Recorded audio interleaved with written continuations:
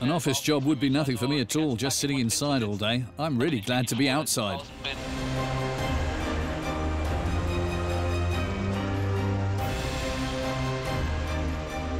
I've always wanted to get things moving, and there's plenty moving here.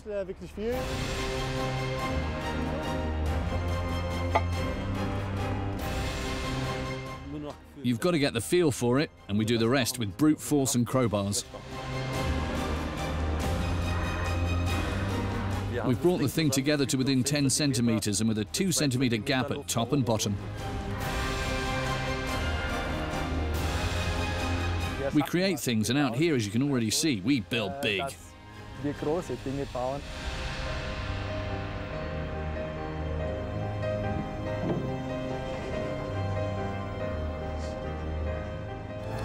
Near Gaildorf in the district of Schwäbisch Hall, the world's highest wind turbine is being built. The more ambitious the construction project, the larger and more special are the machines needed to carry it out. The construction of wind turbines without the use of huge special cranes, unthinkable. Pan a little to the right, swing to the right. Cranes are specialists for lifting and lowering huge loads. The crane operator often works blind. The rule is listen rather than look. He's not allowed to do anything without a command. That's the first thing. So above all, when people are standing there, he's not allowed to pull or swing at all. Everything has to be done on command. In principle, the crane commands are hoist, lower, operate boom, raise boom, and swing. Yes, well, there's also slow and fast, of course, so if you need to be careful or it looks a bit dangerous, then you swing slowly and you raise and lower slowly. So you always start from the crane. Wherever the crane is, you turn your back to it and then you say swing left, swing right. What sounds so simple requires considerable skill and total concentration on the part of the crane operator. One lapse in concentration and the damage is great. The load can come off downwards. Damage, personal injury, material damage, anything can happen if you don't pay attention to it and if you don't do it calmly. And if you make any movement too fast, it would smash the half shell to pieces. Or you might just tear that thing back there right out and the scaffolding would come down and there are people in there. You can't do that. Now it's the last 10 centimetres he wants now, or the last five, I don't know.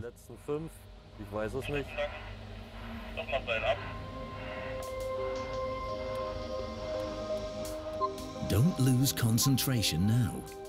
Crane operator Ralf Karras skillfully brings together the parts that weigh several tons. Millimetre work on the joystick. Swing slowly to the right.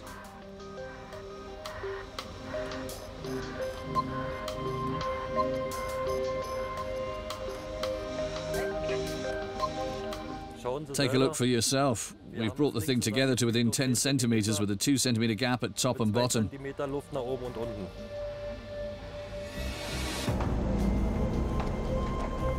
The Swabian wind farm is aiming for a hub height of 178 metres for one of its towers, 14 metres more than the previous record holder from Rhineland-Palatinate. So this is about setting the world record. This is a prototype tower, so we as a team are building it for the first time. Other turbines are easier to build, but with this one it's all new and we have to speak to the construction management or the project management specifically and sort out which cranes we need and then we order them. When I order that crane it's because I need the final 94 metre height of this concrete tower so that it can still get the weight of the adapter up to this height. I need the 11200 for that. But there is a smaller one, the 1750, but it would be too small for this tower. The benefits of the LTM 11200 9.1 with a total of four towers, it's also the first choice for this project from an economic point of view.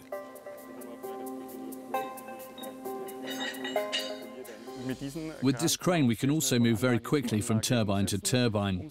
Moving times of up to four hours are possible. With other cranes, we need much longer. With the LTM 11200, moving times are very fast, and we can also install the wind turbine very quickly. We can also install a tip, and with this tip, we can also put up higher concrete towers than with conventional cranes. Even without such lattice extensions, it's the longest. More precisely, the longest telescopic boom in the world.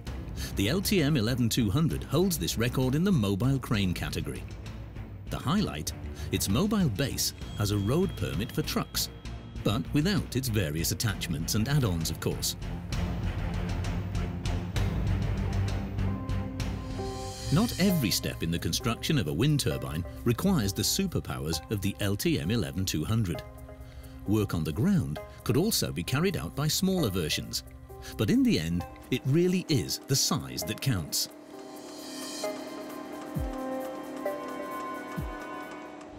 This is the largest telescopic crane in the world on wheels. What's extraordinary is the length of the boom and the fact that you can still lift such loads. The LTM 11200, a super crane. No wonder it was named after an ancient superhero. This is our little Hercules. My colleague gave him the name and I don't mind. The entire wind power project near Schwäbisch Hall comprises four gigantic turbines. Among them are some that seem to stand on huge concrete foundations. It's not actually the case, but more about that later. Being mounted on the concrete tower will bring the total height of the future wind turbine up to 240 metres, all made possible by Hercules.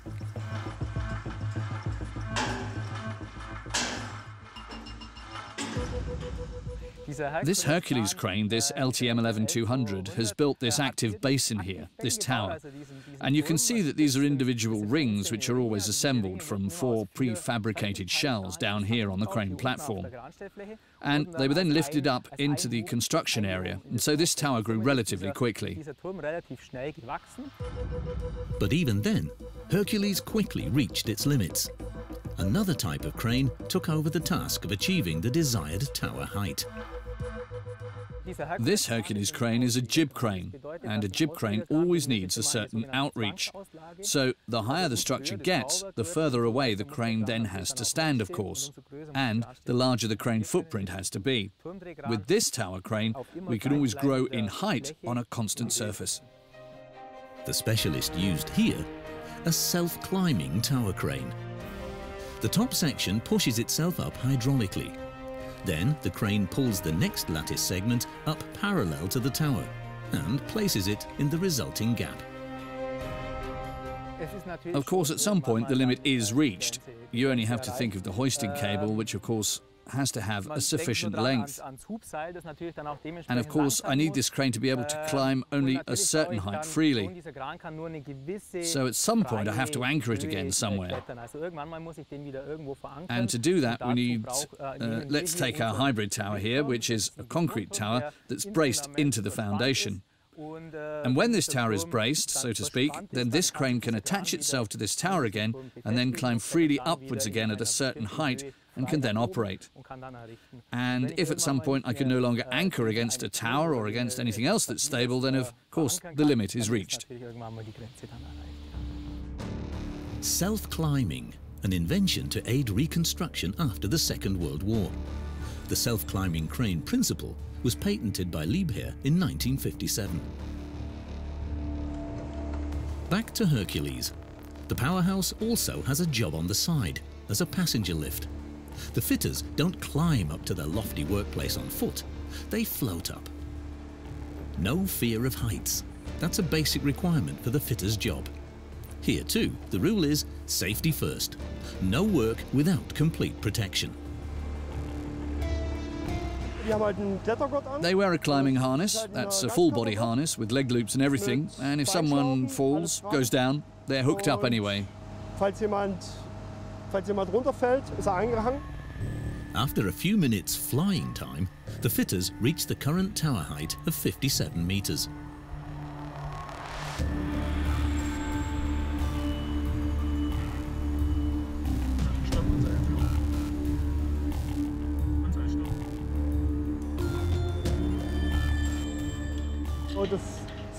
The rope from the rescue set is as long as the tower itself. Das wird dann bis runtergelassen. It is then lowered inside or outside the tower, and then they're lowered down. If something were to happen, a thunderstorm brewing up quickly, or if the crane broke down or something, then they can rescue themselves. The tower team has reached its workplace. Now it's up to the ground team to make the next rings to keep up the supply.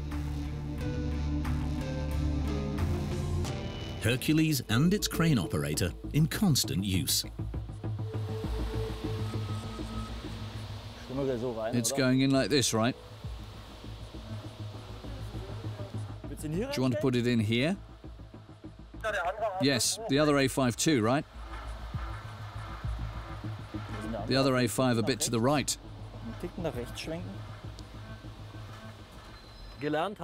I trained in the GDR on a truck-mounted crane which was called ADK-12-5. Then on a caterpillar and on an excavator because that was the profession of construction machinist and or construction machine operator. And we did the class 2 driving license, the truck driving license at the same time. The cranes in the east were much smaller. Some of them were lattice masts with 40 meter jibs, but with all this computer technology and everything else, it's all changed completely. Komplett alles geändert gehabt. The machine now takes over the necessary calculations regarding the interaction of height, load and angle of the jib. Swivel round. In the end, however, the fine-tuning is left to people. Perfect job. The half shells fit together like a zipper, but why do they have to be red?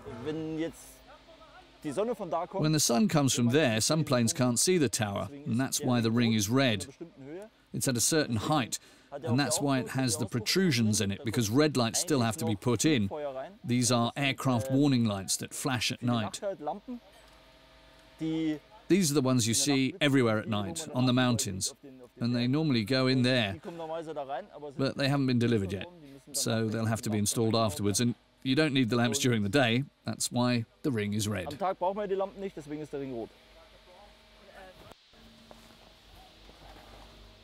So, da sehen Sie So there you see, the iron rods are inside, which are inserted from above, von oben eingeführt and then they're fixed with wire, Die werden mit so that when they're pushed together, they'll all stay in place. dass, ja, dass die Eisen quasi drin bleiben. From now on, real manual labour is needed. With the hydraulic press, the foreman pushes the concrete shells, which weigh several tons, the last few centimetres towards each other.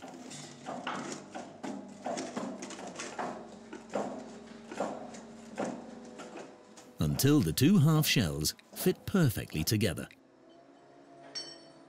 René Kierner fixes them in position with giant screws. He tightens them with a torque spanner to the nominal torque of 500 newton meters. All done. To finally join the two half shells together, the construction professionals use concrete. There's a small opening in the construction of the half shells that's intended precisely for this purpose. To fix the half shells together, the tower builders use a very fluid, rapid hardening concrete.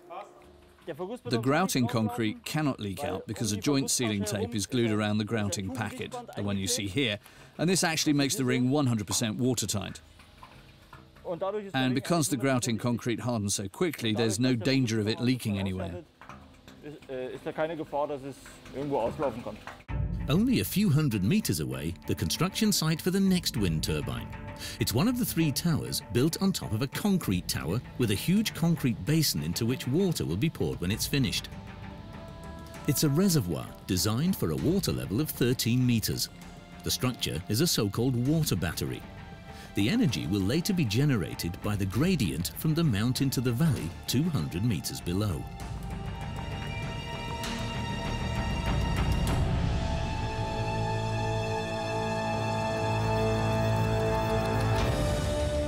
The actual battery is the water. When we pump it up from the valley, the water is stored here in this reservoir, both in the passive and in the active reservoir.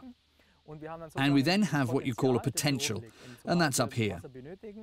and as soon as we need water, we release it into the valley and then generate electricity via a turbine. We have 160,000 cubic meters of water that we send back and forth between the mountain and the valley. By using it as a water reservoir up here and as a wind power site, we've used the area twice, so to speak, as a battery or a storage site and as a power generator at the same time. The trend is to go even higher. And here with the 40 metre basins, we only had to build a 120 metre tower on top, and then we were already at 180. So one metre in height is about 1% more wind yield. That's roughly how you have to calculate it. Theoretically, it is simply a question of economic efficiency. Of course, height initially means higher production costs. Theoretically, there are limits to physics at some point, but you could certainly build a wind turbine on top of a 300 meter high rise.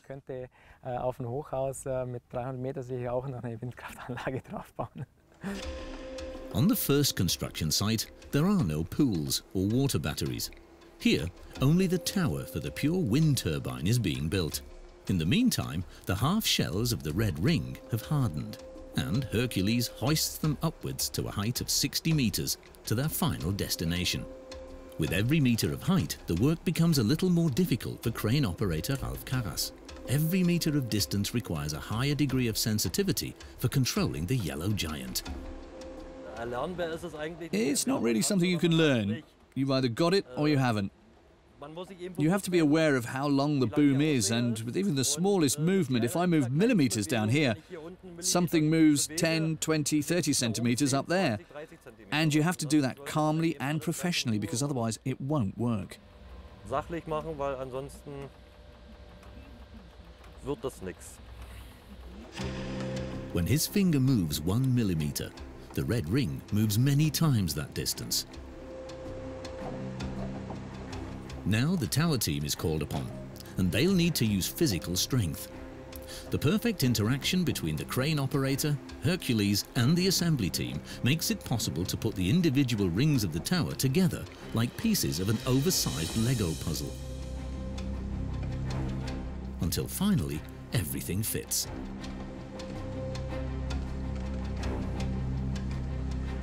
By the end of the day, the crew manages to put on three more segments, to the delight of the site manager. We've now reached a concrete tower height of almost 80 metres. We can attach another concrete segment with the LTM 11200.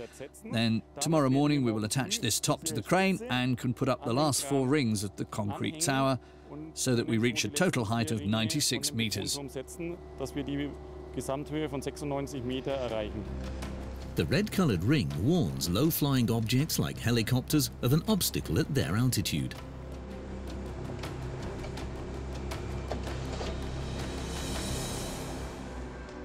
This is a familiar sight to travellers from the Ulm area. It's what the headquarters of Liebherr looks like, one of the largest employers in the region. This 220 metre long hall is the birthplace of Hercules, the world's largest mobile crane. Master of this assembly hall is Markus Frankenhauser. He's the division manager for large-scale special crane manufacture.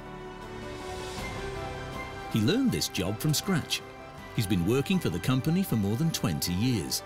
He trained as an industrial mechanic here and has grown with the crane, so to speak. We're here with the LTM 11200, which is the largest mobile crane in the world. With a total undercarriage length of 22 metres, we're assembling here in the normal position. We produce the device in the supine and the normal position. The normal position here is the way it will later drive on the road outside, and we're currently assembling the engine, plus the cladding, panelling, the splash guard. And at the moment there's an engine being fitted here, a Liebherr engine with a performance of 500 kilowatts. The engines come from the factory in Bulle, in the French-speaking part of Switzerland. To produce an undercarriage for the LTM 11200 crane, the Ehingen plant needs 25 days. The Swabians estimate 22 days for the production of the superstructure. This is the point where the cabin is attached, in which the crane operator will later sit. It too has special features. The special feature here with the LTM 11200 is that it has a so-called swivel cab, and this has to be swiveled right to the back when it's driving, because otherwise the maximum width would be exceeded. The highway code can't just simply be ignored. Sunrise over the Swabian Franconian forest. To be able to work at an even greater height, the men's first job this morning is conversion. The crane needs to be dismantled before it can be extended. A safety device is the first thing that has to go. This is for when you wind up the cable and can't see it up there anymore. It switches it off so you don't pull the hook into the pulley head. It just stops. It's a safety device that's on all the cranes. It doesn't matter if it's the smallest or the biggest. It's taken off because I need it at the top later. We just transfer it. Ralph Karras has retracted the telescope of the crane for the conversion. Other parts that previously marked Hercules' highest point must now be moved to the future highest point. To do this, Ralph Karras first unscrews them.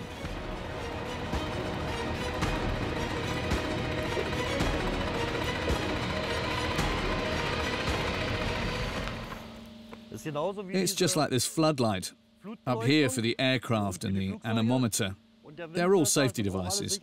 And we're moving them because we're making the boom longer now. Weil wir ja den Ausleger länger machen jetzt. On the site, everything has already been prepared.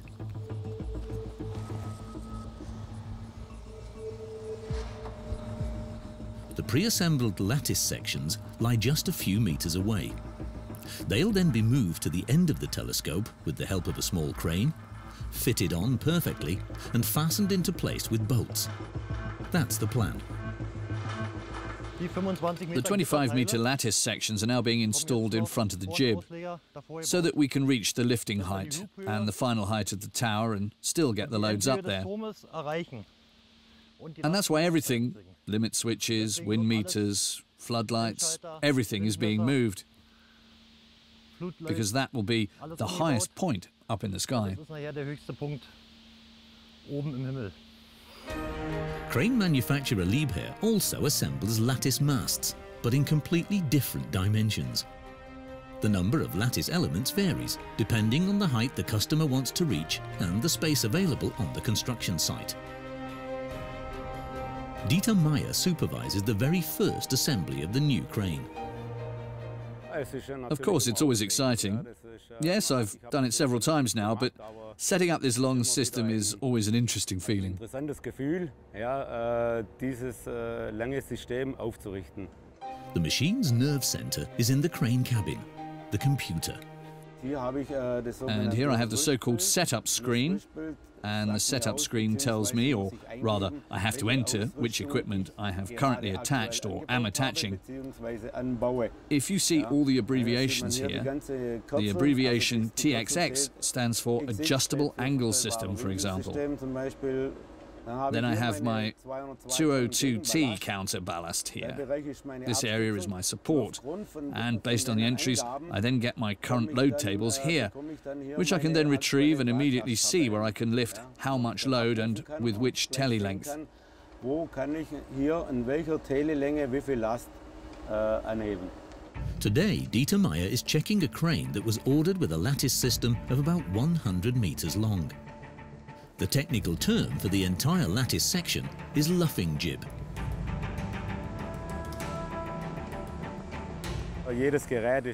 Every piece of equipment is very special because, among other things, they are also sold with different equipment. They're not always sold with the maximum length, but sometimes we get a shorter system, and that's why every crane is special and individual. Each of these devices, which are perfectly manufactured according to the customer's wishes, is completely assembled, erected and tested for correct functioning before delivery.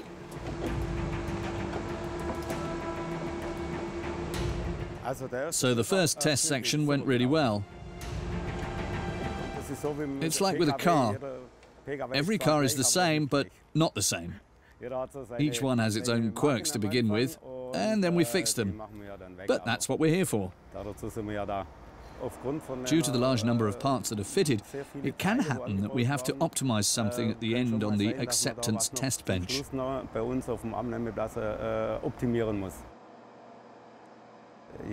longer the system gets, the less telly I can actually extend. Where do I have to lift my load? Do I have to lift it onto a high-rise building? Do I have to angle it or can I go straight up? Can I keep the boom straight, etc.?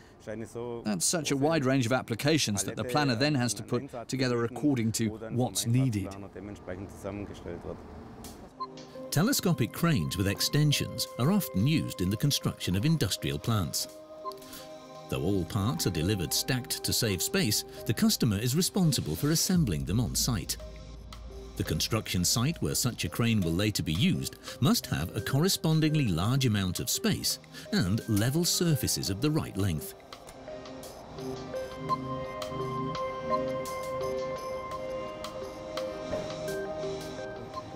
We can now see that we've got the maximum length here. That's what we wanted to achieve. We've now raised it up to the 90 metres we spoke of and will extend this with the NI system with four segments 6 metres, 12 metres, 12 metres. Reducing head and runner, then the whole system is actually complete. Erecting the crane to its full length is carried out in separate stages. Under real conditions, assembling something like this is not quite so simple.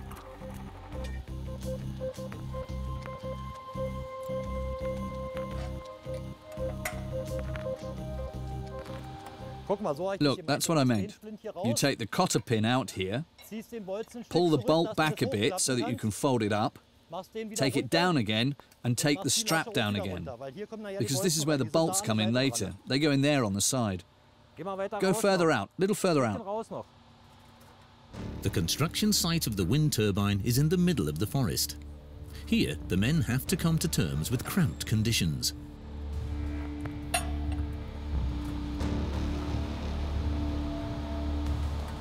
The situation is made more difficult by the fact that the assembly team has not been working together for very long. The men don't know their colleagues well enough yet. The team is not perfectly attuned.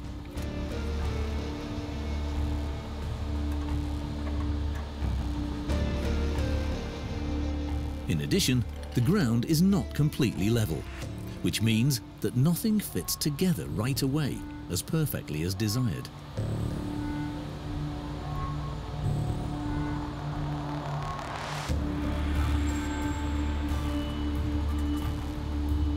Minor slants or tilts mean that the work has to be done over and over again. That takes time. It's already becoming apparent that the assembly team will not be able to keep to the construction management's plan to have the extension in place before the lunch break. But the men have to remain calm and relaxed despite the delay. They know hectic and haste would have exactly the opposite effect. Yes, that's the wrong chain. It's uneven. Let's see if we can get it in. Shortly afterwards, they have to stop.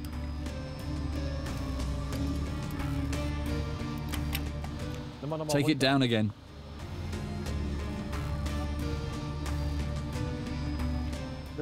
These are the hand signs for crane drivers. We don't need a radio or anything else. Peter, Michel has to go out again. We have to get my chain in. That one's uneven. It's not the same. Peter, you go in and pull the boom up a bit. Pull the boom up. Peter, it's sitting in the lug.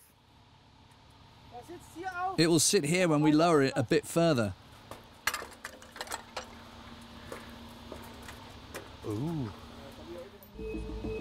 After a lot of toing and froing, the job is finally done. Generally, for this work, few words are needed. Communication is mostly non-verbal. The hand signs. Crane drivers don't need to talk to each other much. They just make a bit of a sign and then it all works.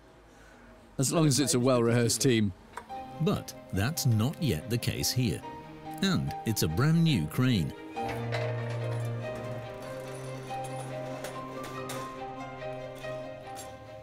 You go down there with the ladder, right? Ja.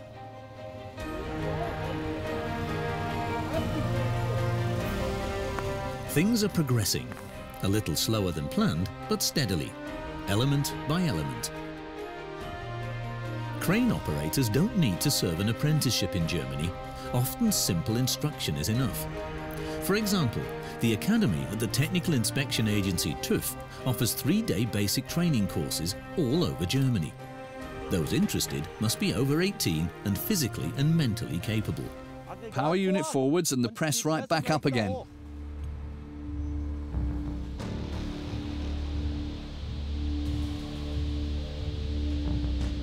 Of course, such a crash course is no comparison with the professionals' years of experience. But even they were learners at some point.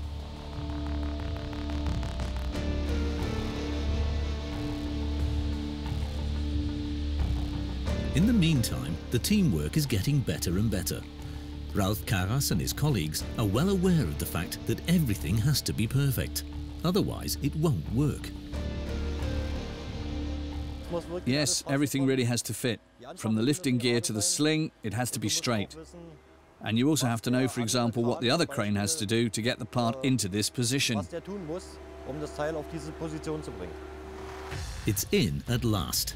Once again, the men have managed a partial success.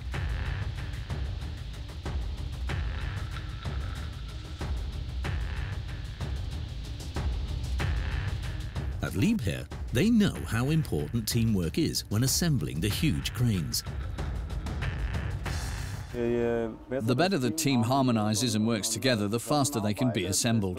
Schneller sind sie im Aufbau. When everyone can actually rely on each other to do what they have to do, without anyone checking up on them specifically, the easier it is, of course. Nachprüft, ist doch besser und leichter tut man sich da. Watching Dieter Meyer and his colleagues assembling the lattice parts seems like child's play. Ja. Ich hol die neu, ich hol neu geschwind noch Ding, Aufstellachse, dann tun wir die auch gleich von der Nähe, oder? Ja. Ja. Und dann tun wir, und dann tun wir Unsere Kunden sagen, Our customers say we have laboratory conditions here compared to outside. Here, everything fits quickly and easily. Das sind die sogenannten These are the so-called laboratory conditions, and get it there, clean. Then, it could go on like this forever. Auf alle Fälle Technology is definitely advancing constantly, weiter, wird immer getting better and better. Denkt, was wir If you think about the kind of steel we use now, and we've been building with this for almost 10 years now, where it's all going, I don't think anyone knows the answer to that yet. Das wird das The material will have a say, and if at some point we go to carbon fiber, carbon fiber components, lightweight construction, to what extent that can be realised or where the limits are, I don't know if anyone can answer that. die Grenze ist. Weiß nicht, ob das jemand beantworten kann. But it is quite conceivable that the Ehingen engineers have long been working on developing the next generation of cranes. After all, new inventions and improvements are part of the tradition here. The success of the group is built on the vision of its founder, Hans Liebherr. With craftsmen and designers, he developed the first mobile tower crane in 1949. Within a short period of time, the Pioneer Small Construction Company became a construction machinery manufacturer that has been able to maintain its role as world market leader in the mobile and crawler crane section to this day.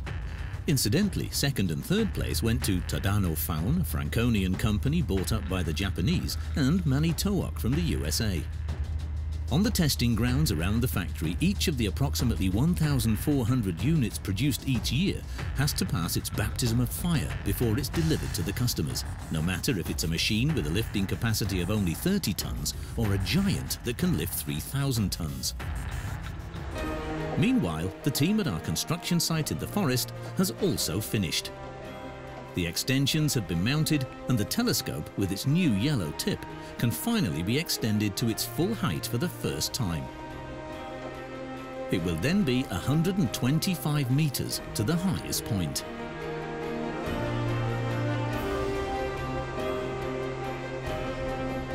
Attaching the additional 25 metres of lattice extensions took more than half a working day.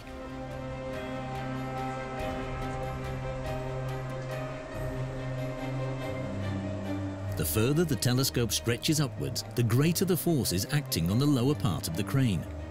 Of crucial importance on all cranes with jibs are therefore the little arms protruding to the rear that appear rather delicate here. The little arms at the rear are the bracing, and with them I make the boom strong. When I telescoped earlier, the boom was hanging forward.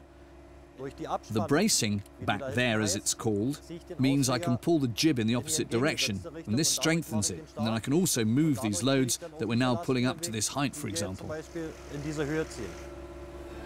Of course, the crane cannot lift its load up to 125 metres. The height of the load to be lifted must be deducted, as well as the height of the runner and the fixing devices at the top.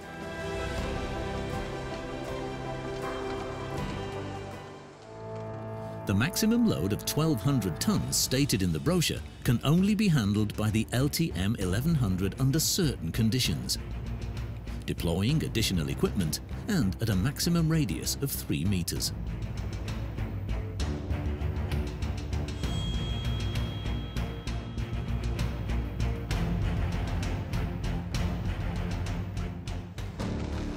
In its current setup with the lattice extension, the maximum load Hercules can lift is 53 tons, but up to the desired height of over 100 meters.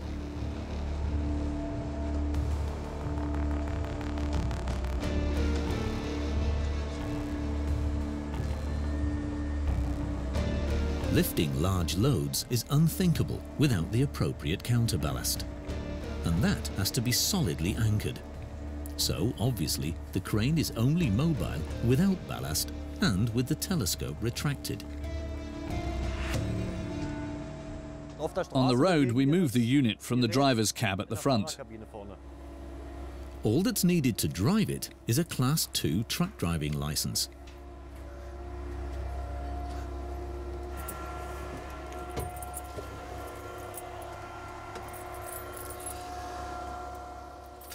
If we started it now, it just looks like blinking lights, lots of buttons.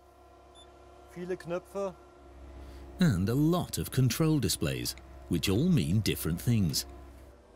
Since the crane can pump itself up and lower itself again, hochpumpen kann und wieder ablassen you then have level up and down, und dann hast du noch irgendwelche and then you have some locks in there. Verschiedene Different steering programs to drive a machine this size onto different construction sites, either straight in or completely sideways. Or the front axle steers this way and the rear axle steers that way. oder die vordere Achse lenkt so rum und die hintere Achse lenkt so rum. The vehicle can be moved at a maximum speed of 75 kilometers per hour. Each crane is painted in a color according to the customer's taste. This colorful vehicle, for example, is going to a customer from Japan. All nine axles of the LTM 11200's undercarriage can be steered separately. Vehicle driver Florian Stur demonstrates some of the computer-aided driving and steering programs.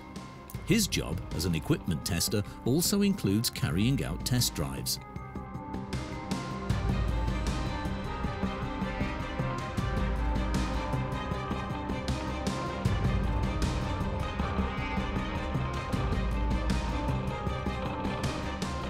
That was, for example, driving in circles, the tightest turning radius. When you park or position yourself on the construction site to do crane work or staggered driving, when it gets really tight and you need to get it into a narrow space so that the crane is in the optimal position for its work. optimal steht für seine Arbeit. In order to be able to do its work, the crane still has to be assembled on site. When it's ready to move, quite a few things are missing.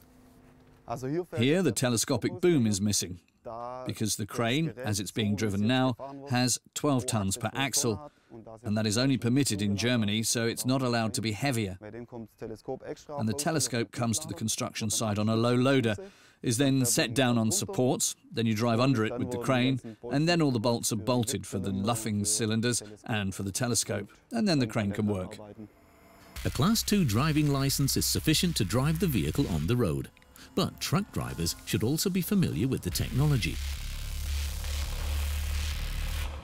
and know exactly which steering program is most suitable for which situation.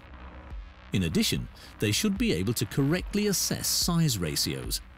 The vehicle is 3 meters wide and 4 meters high, with an overall length of 22 meters. Dimensions are also important for this type of crane. A brief introduction, this is the LR13000, the world's strongest crawler crane. Here it's assembled completely for testing purposes and then delivered to the customer in numerous individual parts. It should be noted that each individual part must not exceed the permissible overall weights and maximum dimensions for transport. That means that each part is limited to a maximum width of 4 metres, the standard length for truck transport, and a maximum weight of 70 tonnes per individually transported part. Meeting these specifications is the real challenge for the mechanical engineers who designed the LR13000. The result is a gigantic puzzle. The number of its individual parts, however, depends on the future job for which the crane was tailor-made. But we can safely say this much. It can easily add up to 250 individual truckloads. The speciality of the giant crawler excavator is lifting extreme unit weights, the powerhouse can handle up to 3,000 tons of maximum payload, which, thanks to its armoured vehicle-like tracks, it can also move around the construction site. The range of movement and the height to which it can pull the loads also depends on its setup. In its maximum configuration, it can hoist 60 tons of load up to a height of 245 metres. This, by the way, also makes it the highest crane in the world. The colleagues of this giant here are in use all over the world, one, for example, was involved in the construction of the world's largest Ferris wheel in Dubai. In Mexico and Pakistan, on the other hand, it was involved in the construction of refineries. No wonder power plant construction is one of its specialities. Unlike the LR13000, which can move along with its load on its tracks, telescopic crane Hercules has to work statically on the spot. Remember, the maximum axle load must not be exceeded. It's only mobile when all extensions are dismantled and the counterballast is removed. Here in Gaildorf, Hercules has counterweights totaling 200 tons. Its maximum load capacity is around 70 tons. There is a basic rule of thumb. About twice the weight of the load to be pulled is needed as counterballast. This, however, is calculated by the computer.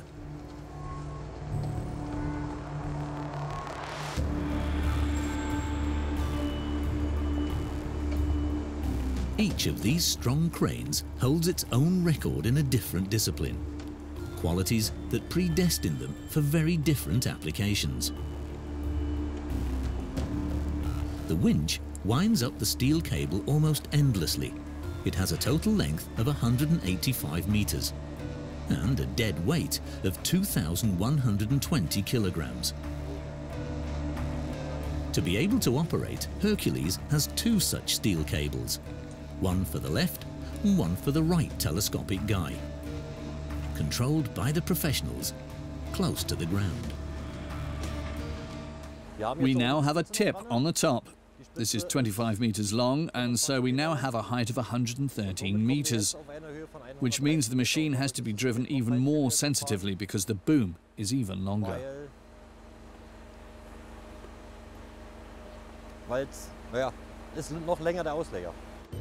Each crane operator is allowed to work for a maximum of 10 hours. Extreme concentration is required on this construction site. But that's why there are three operators for each of these cranes, who take turns in shifts.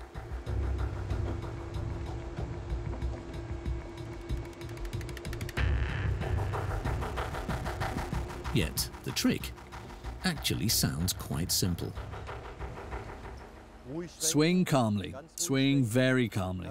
Move the jib very calmly, because otherwise every hectic movement unsettles the load more and more and then bring the loads into position up there in a very still condition. Right up there at a height of 100 meters.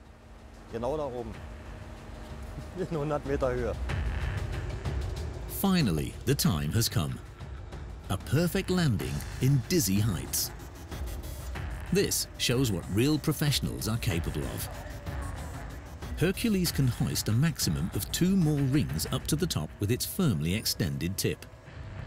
After that, the tower crane comes into play, as it did for the other three windmill towers.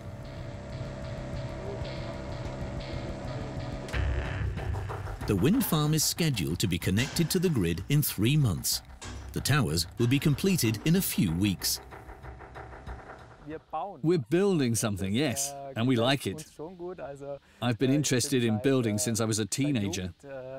I was a carpenter before that, and then I got even more involved in active building when I studied civil engineering.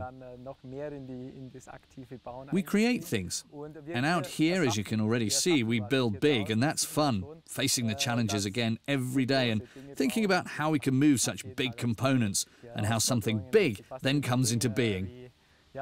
Yes, that's fun. Wie wir solche großen Teile bewegen und äh, wie dann sowas Großes entsteht, das macht Spaß, ja. And it has really worked. A new world record has been achieved.